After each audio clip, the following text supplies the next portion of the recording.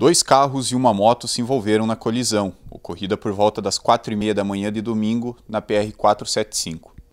A batida entre o Gol, o Monza e uma moto 125 feriu o condutor e passageiro da moto e o caroneiro do Gol, todos encaminhados ao hospital pelo Corpo de Bombeiros com ferimentos leves e médios. O motorista do Monza, com placas de realeza, evadiu-se do local após o acidente.